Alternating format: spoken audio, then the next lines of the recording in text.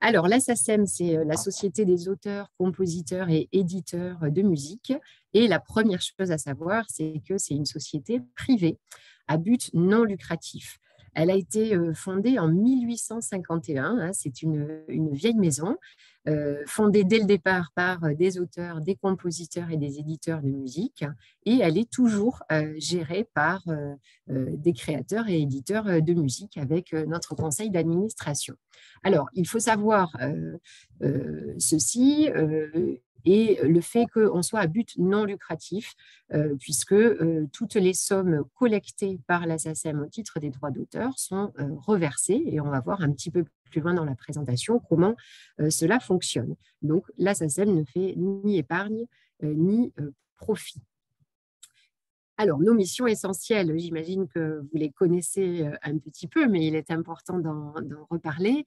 Euh, c'est avant tout, évidemment, euh, la collecte des droits d'auteur partout où les œuvres de notre répertoire sont diffusées et leur répartition, puisque je vous l'indiquais juste avant, nous ne faisons pas de, de, profit, nous sommes là vraiment pour redistribuer les droits d'auteur que nous collectons à nos membres et aux membres des sociétés d'auteurs étrangères avec qui nous avons des accords. J'en parlerai également au cours de cette présentation. Une troisième mission que vous connaissez peut-être un petit peu moins, mais ça commence quand même à se, savoir, c'est que nous soutenons également la création musicale dans toute sa diversité au travers d'une action culturelle que, que nous menons avec des aides aux projets notamment euh, des aides au festival, des aides aux salles de musique actuelles, des aides à des euh, des résidences, euh, des aides à des créations euh, de musique pour court métrage, long métrage, moyen métrage. Enfin, on a vraiment dans tous les types de répertoires, aussi dans l'éducation artistique et culturelle, des aides au projet. Alors, vous retrouverez sur notre site internet une rubrique dès la première, dès la page d'accueil, une rubrique qui est intitulée Aide au projet, et vous pouvez là aller consulter euh, sur notre site donc euh, tous euh, les, les, projets, les appels à candidature également que vous pouvez trouver pour, au titre de notre action culturelle si vous souhaitez creuser le sujet. Alors, euh, je crois que je suis allée un petit peu vite sur le, passage à la slide suivante, mais euh, comme on est dans les vendredis du droit, euh, sans vouloir vous assommer de notions juridiques, il faut rappeler ce qu'est le, droit d'auteur. il est important vraiment de comprendre que le droit d'auteur vient rémunérer le travail de création, le temps passé à créer des œuvres pour nos auteurs compositeur. Quand on est euh, auteur-compositeur, on ne bénéficie euh, pas du régime de l'intermittence, donc pas de chômage, pas de retraite. C'est un euh, statut finalement assez précaire. Et l'unique rémunération de ce travail de création, ce sont les droits d'auteur. Donc, quand un auteur-compositeur touche, gagne des droits d'auteur, il va les déclarer comme un revenu et s'il en touche à un certain niveau, il paiera des impôts sur ce revenu. Voilà. Donc, il faut bien différencier les droits d'auteur qui vont rémunérer ce travail de création des cachets des artistes-interprètes. Quand vous embauchez effectivement des, musiciens, ils vont avoir des cachets pour la prestation qu'ils vont réaliser sur scène. Alors, une personne peut être à la fois auteur, compositeur et interprète, et à ce moment-là, elle aura un cumul des rémunérations, à la, fois les cachets d'artiste-interprète quand elle est sur scène et les droits d'auteur pour la partie euh, de son euh, travail plutôt dans l'ombre euh, de, création. Alors, vous savez sûrement qu'on a donc en France un code de la propriété intellectuelle et que le droit de propriété intellectuelle sur une œuvre a deux fondements. Donc, à la fois le droit moral, et euh, le droit patrimonial. Et la SACEM va euh, s'occuper uniquement euh, du droit patrimonial. D'accord? Donc, effectivement, cela viendra rémunérer hein, le travail des créateurs quand il y a à la fois diffusion publique des œuvres et ou reproduction mécanique des œuvres. Alors, il est important d'indiquer également à ce niveau-là qu'il y a une durée de protection des œuvres. Donc, retenez grosso modo qu'on est 70 ans après la mort du créateur de l'œuvre. Cette œuvre va tomber dans le domaine public. Voilà. Donc, la ne va pas du tout gérer la partie du droit moral. Donc, le droit moral, c'est par exemple la possibilité qu'un créateur a de refuser d'interdire l'utilisation de son œuvre pour une utilisation, par exemple, pour une publicité pour un certain produit, euh, au titre du droit moral, le créateur ne peut ne pas donner son autorisation, euh, effectivement. Alors, à la SACEM, euh, puisque c'est la Société des auteurs, compositeurs et éditeurs de musique, nous accueillons toutes les musiques. Donc, tous les répertoires sont les bienvenus. Et pour un auteur-compositeur, il faut avoir créé une œuvre et que cette œuvre ait été diffusée au minimum une fois en public euh, pour pouvoir adhérer à la SACEM en tant qu'auteur-compositeur. Quand euh, l'auteur-compositeur adhère à la SACEM, il nous confie la gestion de ses droits. Et nous, nous allons donc euh, collecter des droits d'auteur chaque fois que son œuvre est jouée, utilisée, diffusée, pour lui reverser ensuite ses droits. Alors, ce qui est un petit peu plus, peut-être un petit peu moins connu, euh, c'est que nous avons euh, aussi euh, des créateurs de musique de films, de séries, de publicités, mais également des humoristes qui peuvent déposer leurs textes et des auteurs de sous-titrage également ou de chroniques. Voilà, donc vous voyez que le répertoire des œuvres à la fois françaises et internationales est bien sûr colossal et s'enrichit chaque année de plusieurs millions d'œuvres. Je vous l'expliquais en introduction, nous avons des accords euh, de réciprocité avec euh, 184 euh, sociétés d'auteurs dans le monde, donc ça couvre vraiment euh, euh, quasiment tout ce qui peut exister, évidemment, de telle sorte que quand vous avez une autorisation de la SACEM via un contrat de diffuser les œuvres du répertoire, vous avez l'autorisation pour toutes les œuvres mondiales, finalement, via ces accords de réciprocité. Et nous, nous, travaillons ensuite très en lien avec euh, ces sociétés d'auteurs pour euh, reverser euh, les droits des auteurs-compositeurs étrangers qui auraient pu être joués sur notre sol à ces sociétés d'auteurs qui, elles, les reverseront aux auteurs-compositeurs. À l'inverse, quand des auteurs-compositeurs membres de la SACEM sont diffusés à l'étranger, ce sont les sociétés d'auteurs sur place qui collectent les droits, qui nous les reversent et on pourra les reverser ensuite à nos membres. Alors, qui paye les droits d'auteur? Eh bien, euh, finalement, beaucoup, beaucoup euh, euh, de, clients et d'une grande diversité, effectivement, puisque dès lors qu'il y a diffusion publique de musique, il y aura paiement, demande d'autorisation et en contrepartie de cette autorisation, paiement de droits d'auteur. Donc c'est très très vaste. bien sûr, les organisateurs de concerts, hein, les salles de concert et les, et les théâtres, vous l'imaginez, mais bien sûr aussi euh, les médias, euh, les plateformes de streaming, les, associations, les collectivités locales, les entreprises privées, les magasins, les restaurants, les discothèques et évidemment les médiathèques.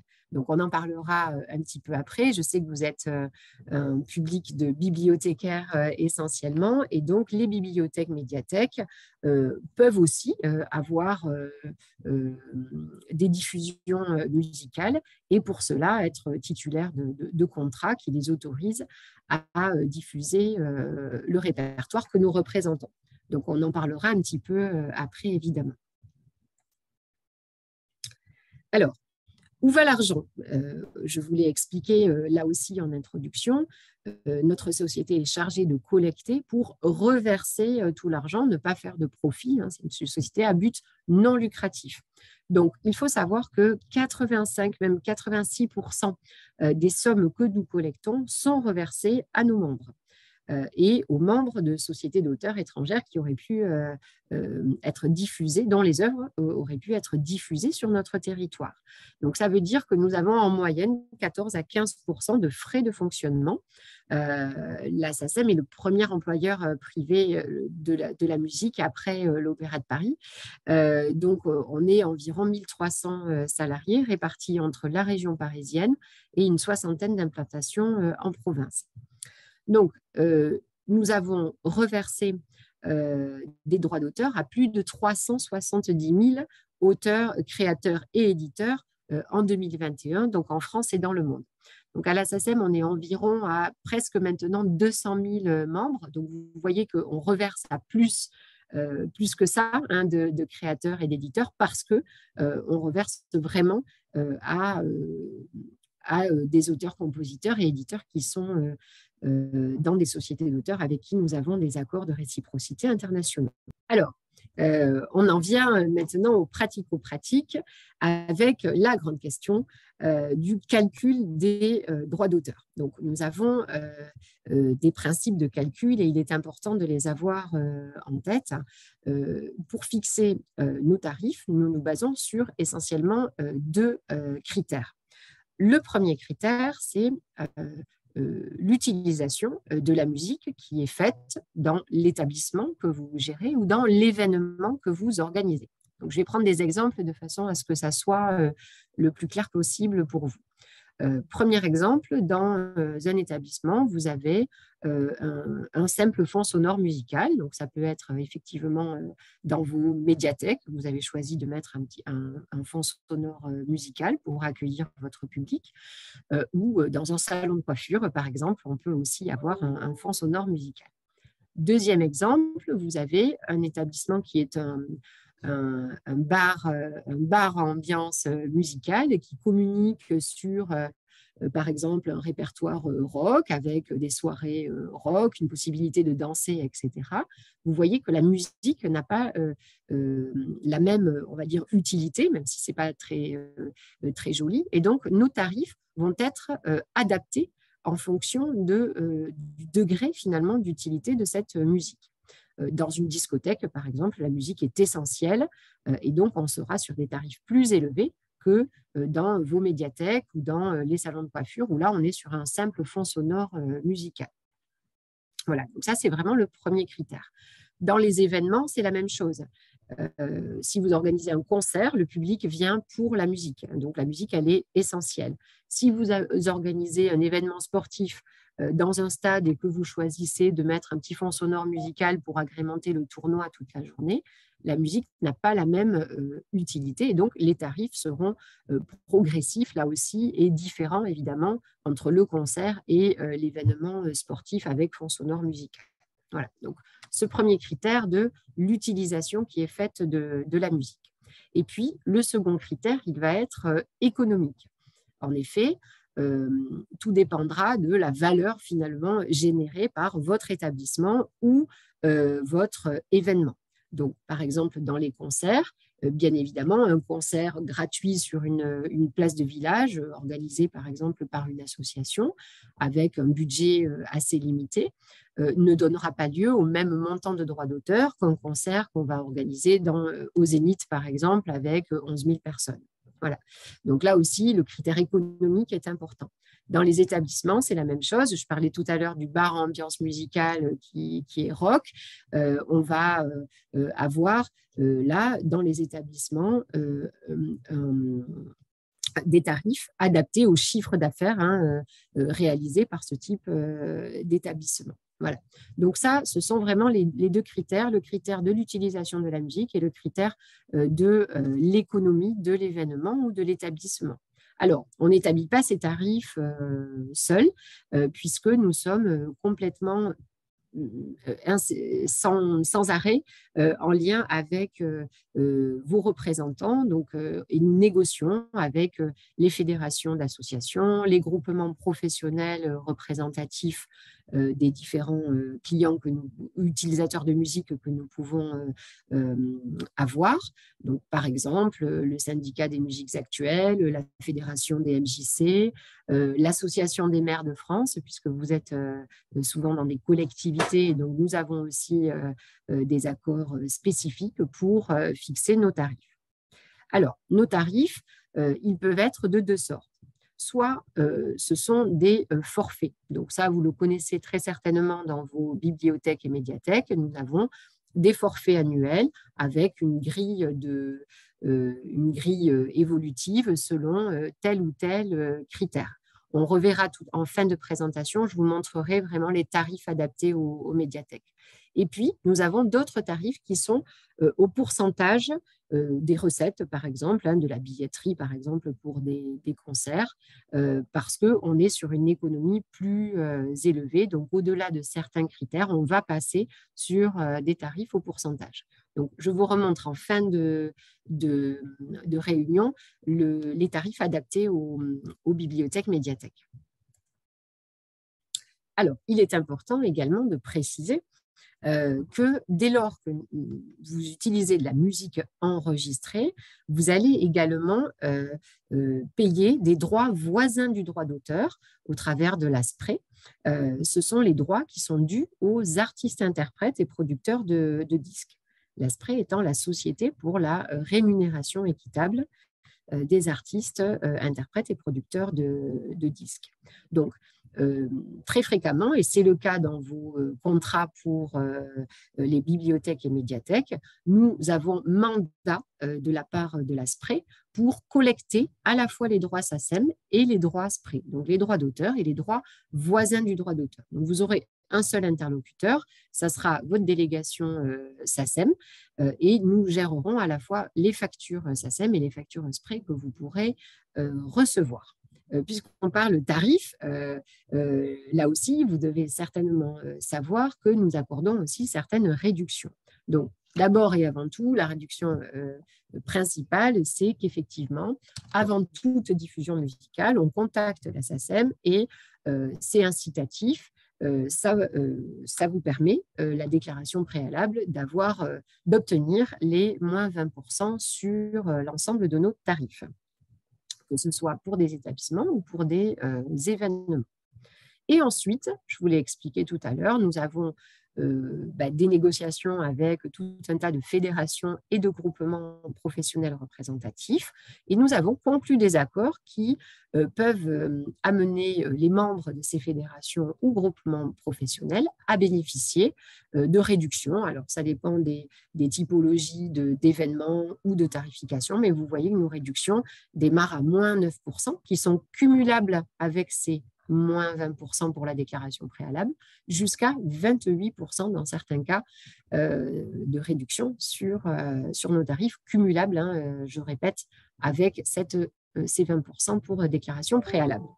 Alors, sachez également que nous avons fait vraiment un gros effort de, de, communication, de transparence. Et vous retrouverez sur notre site sacem.fr l'ensemble euh, des tarifs, qu'ils soient pour les différents établissements que vous pouvez euh, être amenés à gérer ou pour les événements ponctuels, occasionnels euh, que vous êtes amenés à organiser.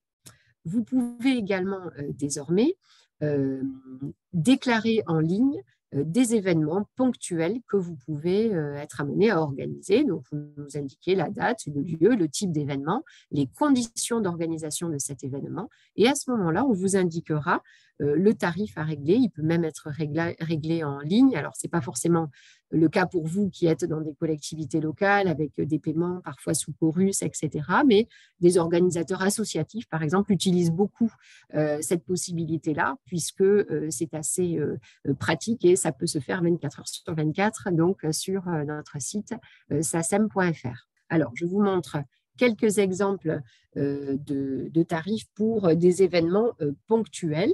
Donc là, on voit, on a une plaquette avec des tarifs forfaitaires pour, par exemple, l'organisation d'un concert euh, quand le prix d'entrée est inférieur à 20 euros et le budget des dépenses est inférieur à 5 000 euros. On a une grille tarifaire que vous retrouverez sur la plaquette ici que j'ai mise à l'écran tout à l'heure et que vous retrouverez sur notre, sur notre site. Donc, vous voyez, tous les types d'événements sont concernés, le son et lumière, le ciné-concert, la kermesse, le thé dansant, le concert, les projections audiovisuelles. On peut retrouver tous ces tarifs-là sur, sur notre site. Donc, comme je vous le disais, nous sommes nombreux à travailler pour collecter les droits d'auteur et les reverser à nos membres. Et vous, vous nous trouverez ici en, région. Euh, donc à Toulouse où je me trouve euh, actuellement et où le temps est, toujours gris, euh, mais également nous sommes à Albi, à Montauban, à Rodez, à Nîmes, à Montpellier, à Carcassonne et à Perpignan. Donc il y a toujours une délégation SACEM proche de vous. N'hésitez pas à nous contacter par téléphone du lundi au vendredi, 10h midi, 14h, 16h, mais également par email. On a tous une adresse générique qui commence par DL. Et là, vous mettez le nom de la ville. Donc pour Toulouse, c'est toulouse, sacem.fr. Vous retrouverez ces coordonnées euh, sur notre site internet, sur Google également. Euh, c'est assez simple de nous contacter. Alors, nous proposons euh, également, évidemment, quelques services, et je voulais en, toucher deux mots pour euh, terminer cette, euh, cette présentation. On a simplifié vraiment nos démarches avec un espace client dans lequel vous pouvez aller, comme je l'ai dit, déclarer des événements ponctuels, mais également voir les factures, payer les factures en ligne, avoir nos contacts, etc. Donc, ça se présente de cette façon-là. Vous pouvez également et c'est important, j'en ai pas parlé, mais on va s'y arrêter un petit peu quelques instants. il faut savoir que les droits d'auteur sont reversés à nos membres vraiment à 80% en fonction des diffusions réelles des œuvres. Donc, qu'est-ce que ça veut dire? Ça veut dire que quand vous êtes organisateur d'un concert, on va vous demander de nous communiquer le programme des œuvres musicales qui ont été diffusées ainsi que le nom des auteurs-compositeurs euh, qui ont euh, créé ces œuvres-là, euh, de façon à les répartir, ces droits d'auteur que vous allez payer vraiment œuvre par œuvre à tous les ayants droit des œuvres qui ont été diffusées. C'est pourquoi, quand vous organisez des concerts ou des spectacles, on vous demandera toujours le programme des œuvres diffusées. Désormais, vous pouvez le déclarer en ligne sur sacem.fr.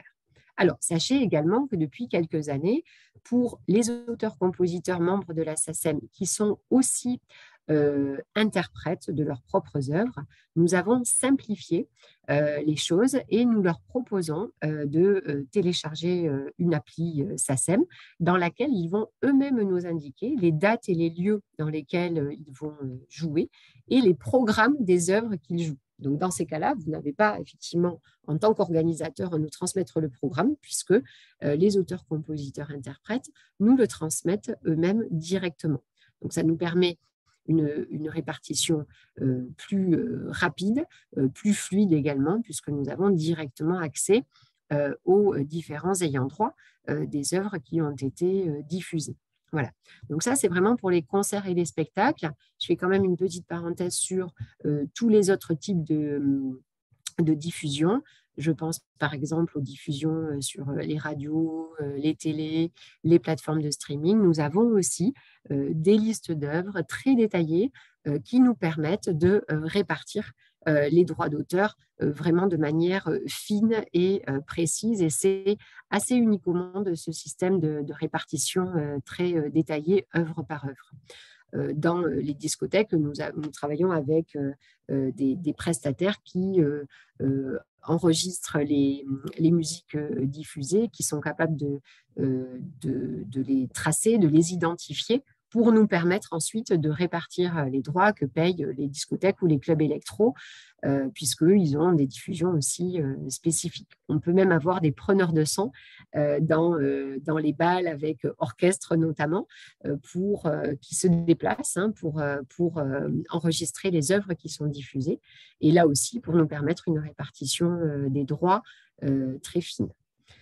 Quand vous êtes sur un forfait à l'année, par exemple pour un fond sonore musical dans la, bibliothèque ou parce que vous avez des casques d'écoute ou des choses comme ça dans vos bibliothèques, euh, bien entendu, on ne va pas vous demander euh, de euh, noter, ça serait complètement impossible pour vous et intraitable finalement pour nous. On ne va pas vous demander de noter toutes les œuvres qui sont diffusées tout au long de l'année, ça n'aurait pas, ça n'aurait pas de sens. Donc, quand on est comme ça sur des forfaits à l'année, on va faire par euh, euh, analogie euh, par rapport à, la diffusion qu'on peut avoir justement sur les télés, les radios, la production de, CD. Donc, on va répartir cet argent-là par analogie avec les autres caisses de répartition. Donc, c'est important de l'avoir en tête également.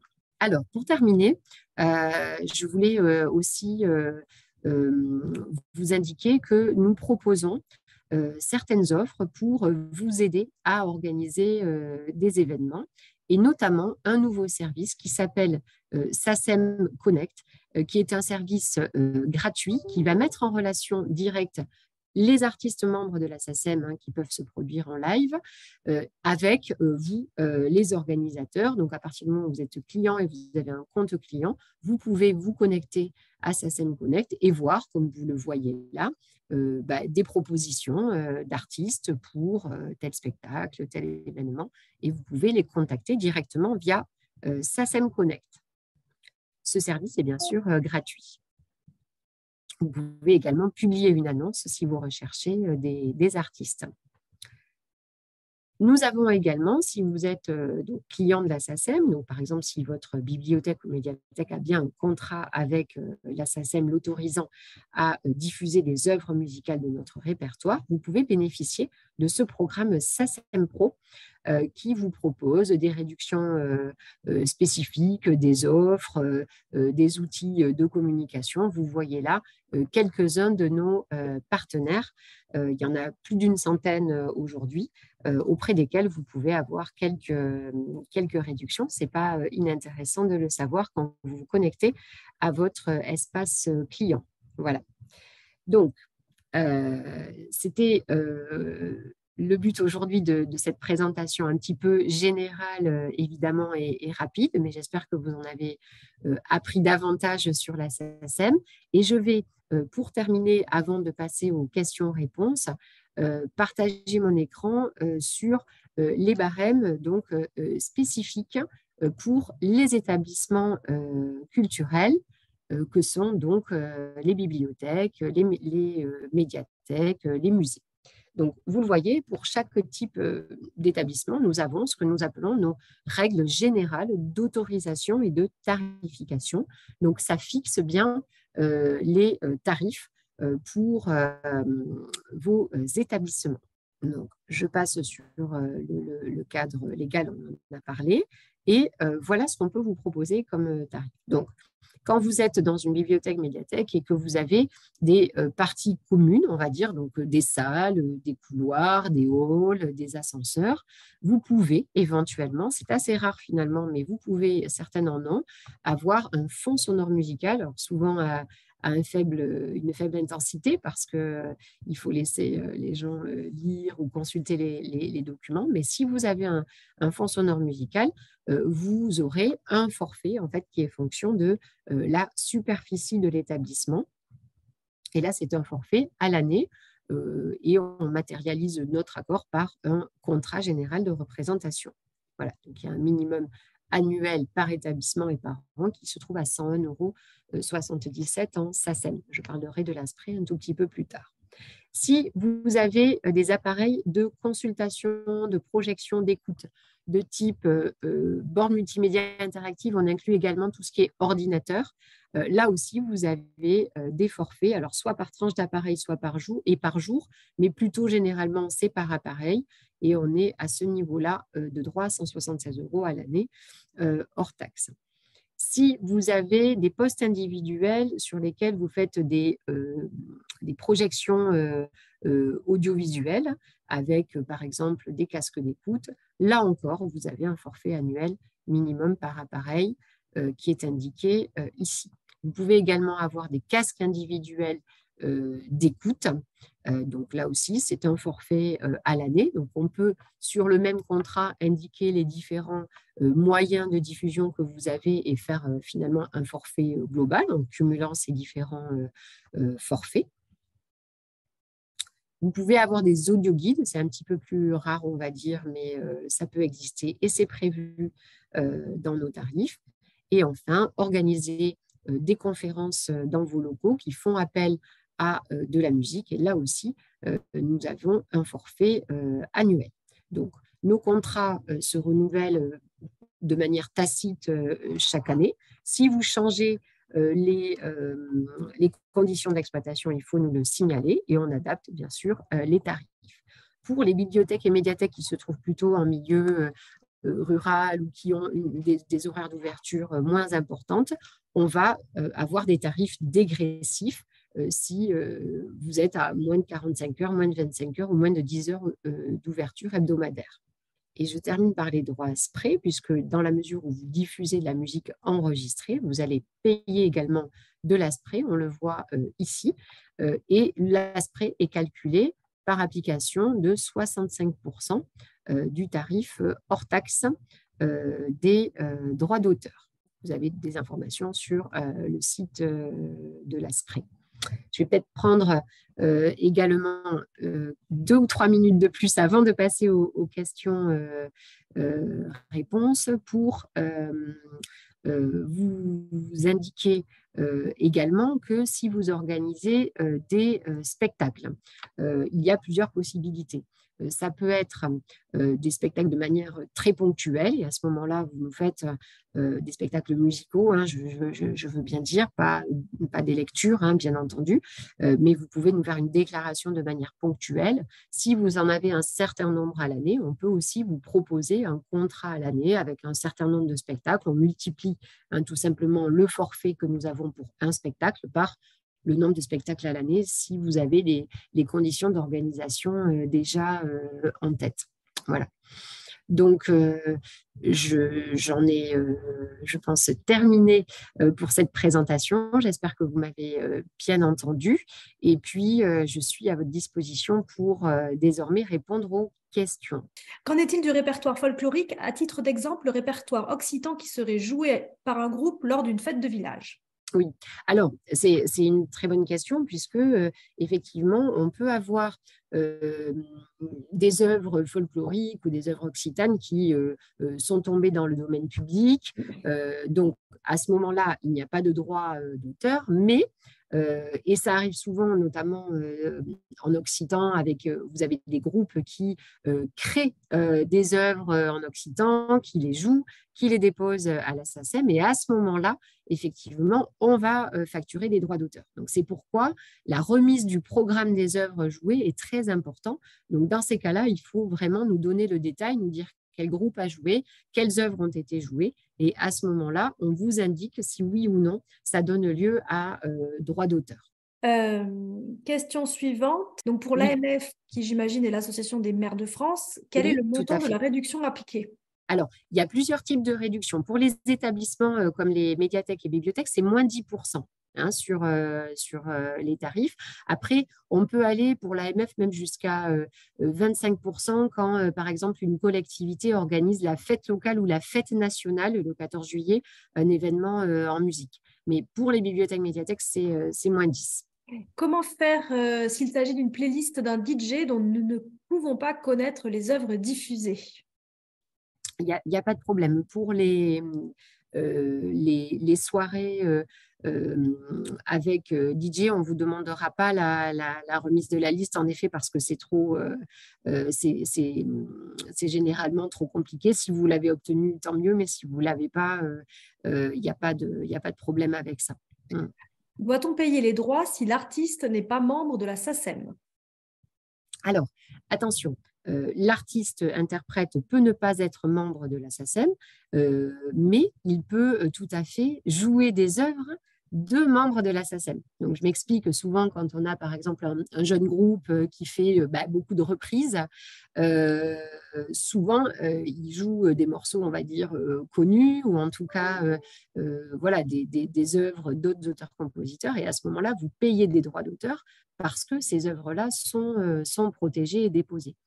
En revanche, si vraiment, effectivement, l'artiste interprète des œuvres qu'il a composées lui-même et qui ne sont euh, pas déposé et qu'il n'est pas membre de la SACEM, à ce moment-là, on ne facturera pas euh, de droit d'auteur. Question suivante. Qu'en est-il d'une soirée blind test? Dois-je fournir tous les titres également? Les morceaux ne sont pas diffusés en intégralité. Est-ce que ça change quelque chose? Alors, euh, ça ne change rien au niveau du, du, tarif. Ça va être un, pardon, un forfait selon les conditions d'organisation, prix d'entrée, voilà. Mais vous n'avez pas forcément à, fournir euh, les titres non plus parce que vous n'avez pas forcément connaissance avant euh, de, ces titres-là. Hein. Question suivante. Comment fonctionne la rémunération des auteurs diffusés en fond sonore, en salon de coiffure par exemple Oui, alors quand euh, vous avez un, fond sonore musical, je l'ai expliqué, on, ne va pas vous demander euh, de euh, nous fournir le programme des œuvres qui ont été diffusées.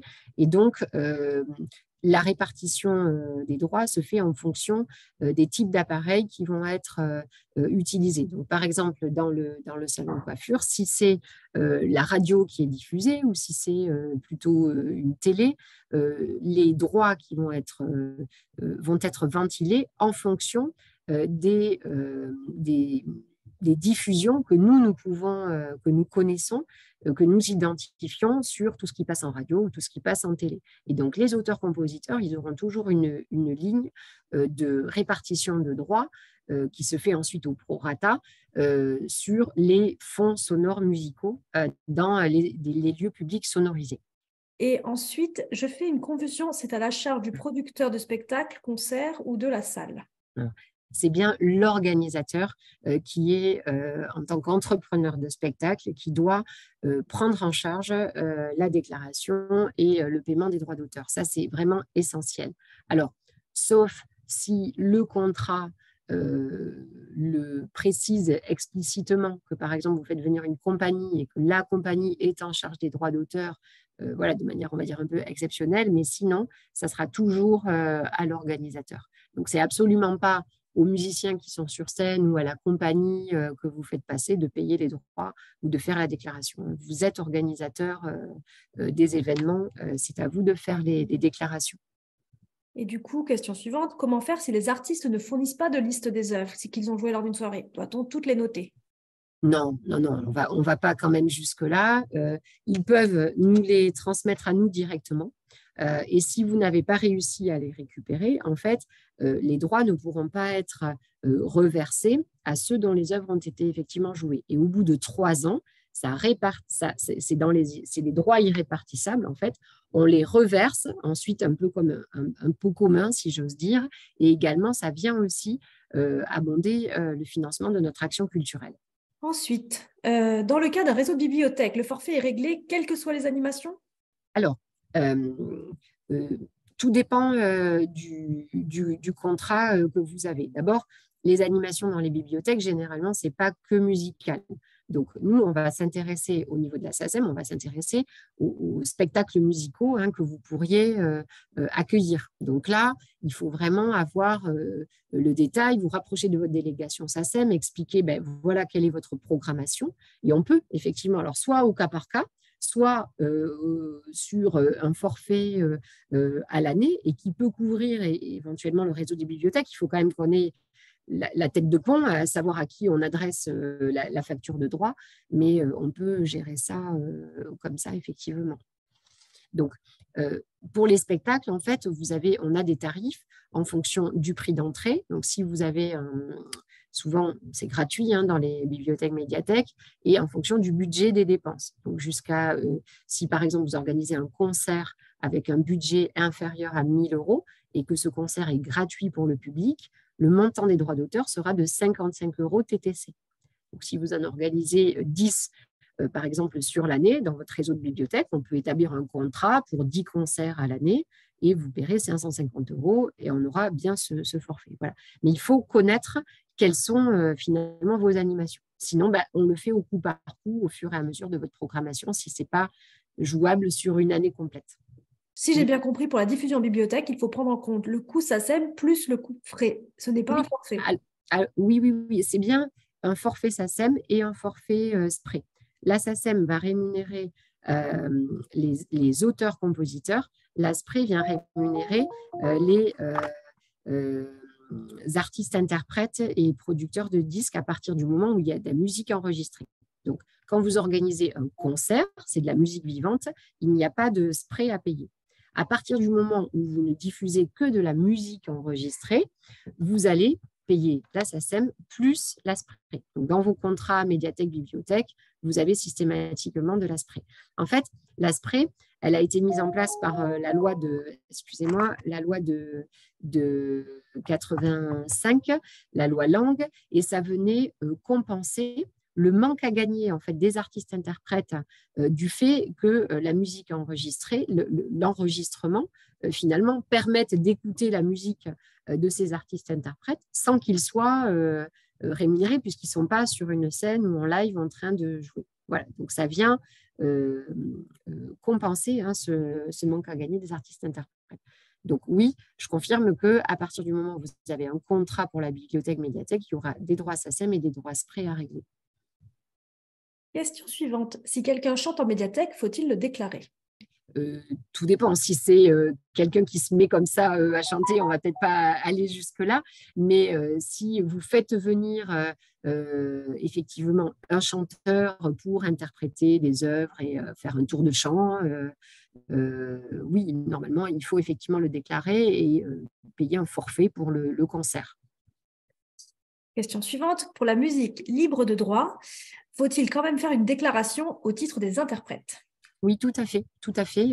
il y a, si, vous utilisez du répertoire, on va dire, hors gestion collective, hein, vous, avez de toute façon de la à payer parce que c'est de la musique enregistrée qui est diffusée.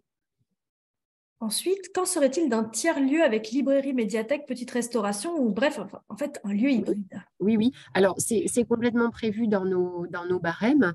on peut avoir, si dans l'espace, par exemple, de restauration, vous avez un fond sonore musical, on va euh, appliquer un forfait euh, euh, pour établissement de restauration rapide. Donc, c'est des forfaits à l'année. Et on appliquera pour la partie médiathèque les, les, forfaits, comme je vous ai montré tout à l'heure. Si c'est vraiment du cas par cas, il n'y a, pas de souci.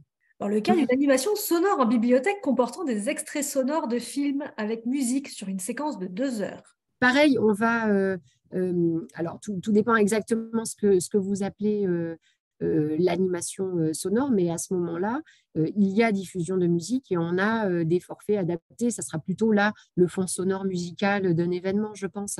Mm. Bonjour. En fait, en fait c'est hum, lorsqu'on fait par exemple un instant BO, on passe des BO de films avec des extraits de films. C'est des extraits, mais du coup, c'est compris dans le forfait que paie euh, la bibliothèque de Toulouse, admettons, euh, pour toutes ces bibliothèques du réseau. D'accord. Parce que je découpe du son, si on découpe du son d'un film pour euh, justement montrer la musique dans les images. Oui, alors ça doit être dans votre contrat pour les projections audiovisuelles dans ce cas-là. Et du coup, on poursuit avec les questions audiovisuelles. Qu'en est-il des tarifs concernant la musique de film pour les cinémas en milieu rural, deux séances par semaine avec 40 entrées par mois en moyenne? Oui, alors les cinémas, euh, ils font une déclaration de leurs euh, recettes au CNC et le CNC est en lien avec euh, la SACEM et il y a une facture de droit d'auteur qui est fonction du, des, des, recettes réalisées dans les, dans les cinémas. Donc, si c'est euh, le réseau Cinéfol, on a bien euh, euh, les contrats avec Cinéfol pour les, pour les diffusions. Hein, normalement, de toute façon, les cinémas, il y a, l'autorisation CNC et tout ça. Donc, normalement, ça, ça roule comme ça, je dirais. Est-ce qu'on additionne sonorisation d'un espace, poste informatique, diffusion occasionnelle pour un spectacle, fête du village, sonorisation café ou y a-t-il possibilité de négocier un forfait pour la commune? Non, on additionne, on additionne bien tous ces forfaits selon les, les conditions. Ce qu'on a négocié avec les communes, c'est vraiment le tarif dans le cadre AMF, comme je vous le disais, avec des, des, réductions de, 10 à 25 donc qui, qui, se mettront sur chacune de ces diffusions-là. Mais en tout cas, voilà, c'est comme ça que ça, ça fonctionne. Y a-t-il des droits SACEM à payer pour la fête de la musique? Amateur bénévole sur scène. Oui, alors non, on fait une autorisation gratuite le jour de la fête de la musique quand on est bien dans les conditions de la fête de la musique, à savoir, comme vous le dites, ce sont des, amateurs euh, euh, qui viennent euh, jouer sur scène, etc. Il y a une autorisation gratuite.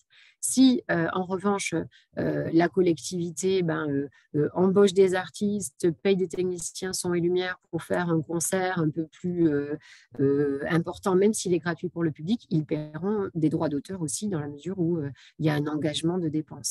Alors, quelle modalité pour ouvrir un compte en ligne? Alors, tout simplement, vous contactez votre délégation SACEM et on vous envoie les, codes, les codes d'accès euh, euh, par mail. N'y a-t-il pas une exception pour l'utilisation d'extraits? Oui, on peut avoir euh, effectivement des, exceptions. Oui, tout à fait, tout à fait. Bon, là, c'est du cas par cas. Je ne sais pas exactement quelle était la, le, but de la question. Je ne sais pas si vous pouvez préciser, mais si vous aviez un, un, dossier spécifique, un événement spécifique en tête. Mais, euh, Non, ce serait juste, par exemple, pour créer un petit jingle, mettre un court extrait, je ne sais pas, il y a une durée euh, maximale. D'accord.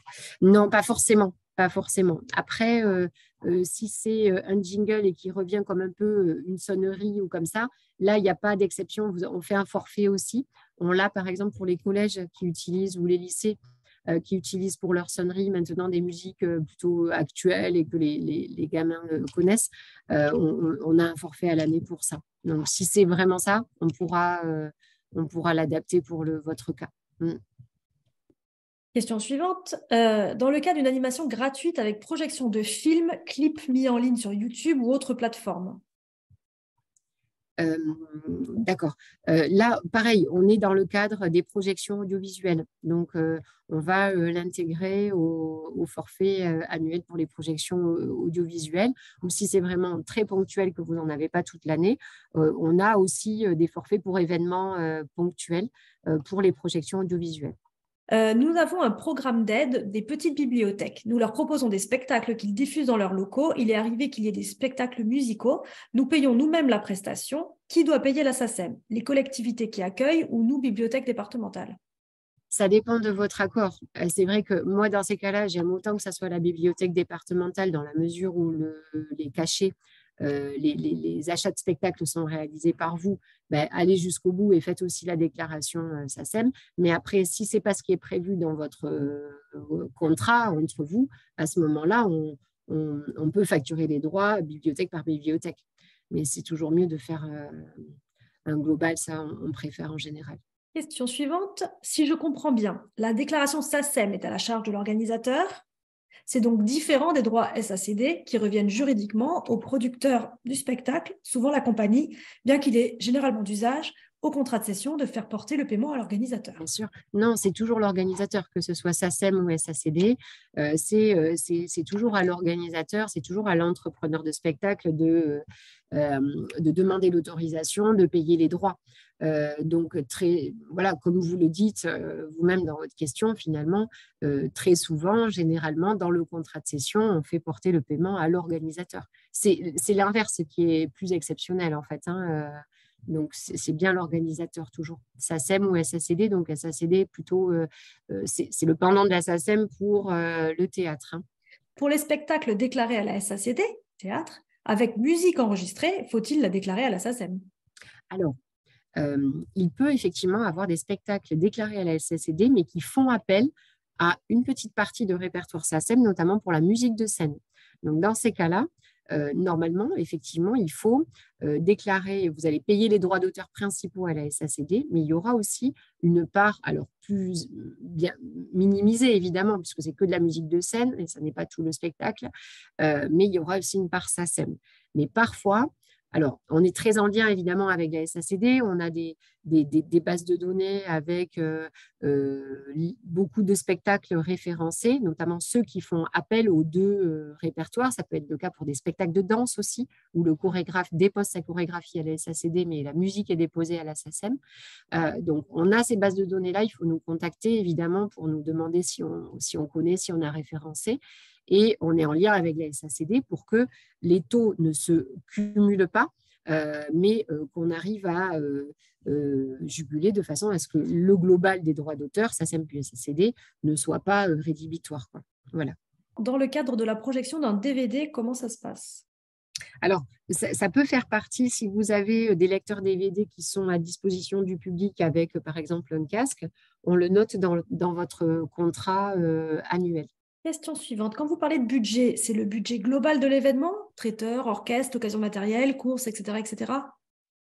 Alors, le budget euh, des dépenses que nous euh, retenons, euh, c'est le budget artistique, le budget technico-artistique, donc c'est technicien, son lumière, location de salle, location d'un instrument, vraiment tout ce qui concourt à mettre en œuvre la prestation et les frais de publicité. On ne retient pas les frais de traiteur, on ne retient pas euh, les frais de, bouche, euh, d'alimentation ou de boisson, on ne retient pas les frais de sécurité. Donc, un même lieu regroupant trois activités différentes paierait trois forfaits euh, Oui, oui, oui, tout à fait. Oui, oui, tout à fait. Qui sont en fonction de l'utilisation de musique dans, ce lieu, dans, le, dans la typologie du lieu, on va dire. Bonjour, je me permets d'intervenir. Extrêmement prohibitif. non. Je, parce que ça fait quand même je, me mets vraiment comme. C'est des lieux qui, qui, existent de plus en plus souvent. Euh, euh, c'est pour ça que je pose la question. Je viens d'avoir un cours là-dessus en plus, donc je suis, vraiment dedans. Euh, si vraiment. Bah, souvent, c'est des lieux qui ont de la petite restauration, ce n'est pas des énormes chiffres d'affaires. Ça combine à la fois un peu quelque chose de marchand et, et, quelque chose de non marchand. Oui. Euh, et du coup, payer trois forfaits, ça me semble extrêmement... non, c'est pas, il ne faut pas le voir comme ça. En fait, tout dépend, euh, vraiment, c'est du cas par cas. C'est-à-dire que, par exemple, si vous avez dans une seule et même pièce à la fois la partie restauration et à la fois, par exemple, des, des, euh, les bouquins, etc., en fait, et que vous n'avez qu'une source musicale, donc, le fonds sonore musical, il est le même partout dans l'établissement. On va vous faire qu'un forfait dans ces cas-là. Mais si l'activité prépondérante, c'est la restauration rapide, ça sera ce barème-là qu'on va utiliser. Mais si l'activité prépondérante, c'est plutôt euh, l'aspect euh, euh, bibliothèque-médiathèque, on utilisera ce barème-là. Mais voilà. Donc, je disais, on, peut cumuler les forfaits quand vous avez vraiment, et ça m'est arrivé d'en voir aussi, vous avez vraiment le café qui est à part euh, qui est matérialisé euh, vraiment à part de euh, la partie, on va dire, culturelle, par exemple, et que vous avez deux fonds sonores musicaux qui, sont, qui peuvent être différents avec pas la même source. Voilà, donc tout dépend, c'est du cas par cas. Oui. Mm. Ok, avec un forfait annuel, parce que par exemple, si je, je, pousse, je vais essayer de vous pousser dans vos retranchements un peu.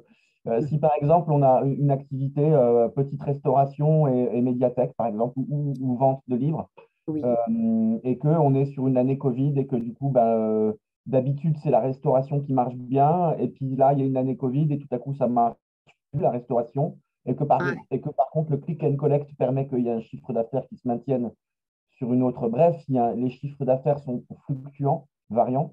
D'accord.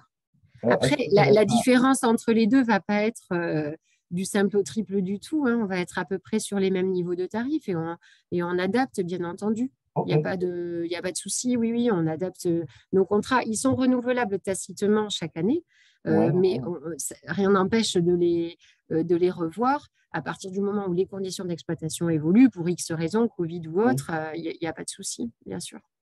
Je crois que ce qu'il faut retenir, c'est que prenez contact avec votre interlocuteur le plus proche et parce que cette liste de questions montre qu'il y a vraiment beaucoup de cas particuliers. Oui, c'est ça. Et puis, et puis je, rajoute aussi pour euh, Mathieu, on, a des, barèmes adaptés aux locaux associatifs. Donc, par exemple, si c'est un, café culturel, je ne l'ai pas dit, mais j'ai l'impression que c'est un peu ça qu'il qui voulait, euh, voulait évoquer. Mais les cafés culturels, en fait, on, n'applique pas euh, le barème d'un café traditionnel, d'un restaurant traditionnel, qui est, là pour le coup beaucoup plus cher. En fait, on applique le tarif des locaux associatifs.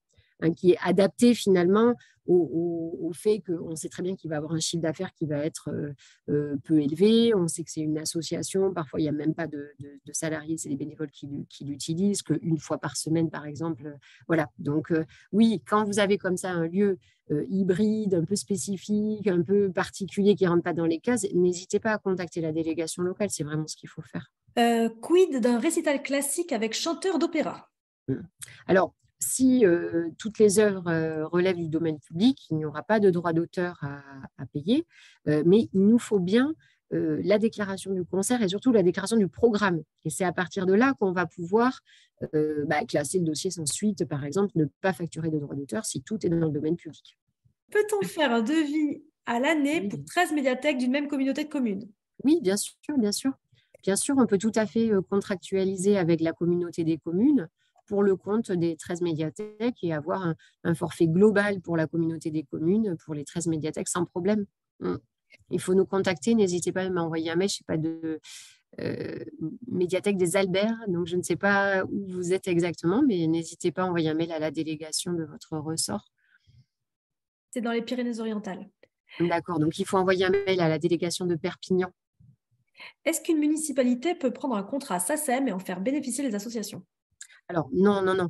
Euh, vraiment, on a euh, des contrats pour les municipalités, des contrats pour les associations. Il n'y a pas les mêmes euh, fédérations. Les municipalités sont liées à l'AMF, les associations souvent à d'autres fédérations d'associations. Donc, c'est pas, on ne mélange, pas les, on mélange pas les contrats. Alors, une demande de précision. Les auteurs peuvent déposer tous les types de répertoires à condition que l'œuvre ait été jouée au moins une fois dans l'espace public, c'est-à-dire en live, ou est-ce qu'un enregistrement, ça vaut aussi? Alors, ça, c'est pour euh, au moment où ils adhèrent. Hein, il faut que l'œuvre avec laquelle ils souhaitent euh, adhérer à la SACEM ait été diffusée en public. Donc, ça peut être effectivement en live, mais ça peut être aussi un enregistrement, donc un CD vendu dans le commerce, un passage en radio, même en radio locale, un passage en, festival ou, dans, ou sur une télé locale, par exemple. aussi, on peut accepter, si l'œuvre est diffusée sur YouTube et qu'elle a un minimum de 1000 vues, on fait une copie écran euh, de, cette diffusion et ça, vaut euh, preuve de diffusion. Si elle est déjà en ligne sur des plateformes de streaming aussi, voilà, les cas sont assez larges en fait euh, pour la diffusion. Mm. Dans le cas où la bibliothèque départementale prête des platines vinyles aux bibliothèques de son réseau, y a-t-il une déclaration à faire? Non, là, ça ne me concerne pas. Nous, ce qui nous concerne, c'est vraiment la diffusion publique euh, de, euh, de, ces œuvres qui sont sur les platines vinyles. Donc, si par exemple les bibliothèques euh, du réseau sont équipées bah, de casques et de, de, platines pour que les gens viennent écouter et tout ça, on va avoir dans le contrat annuel de la bibliothèque les casques et le nombre de casques que vous avez qui sont susceptibles d'être utilisés pour écouter de la musique en fait. Voilà, c'est ça, c'est là qu'on va intervenir.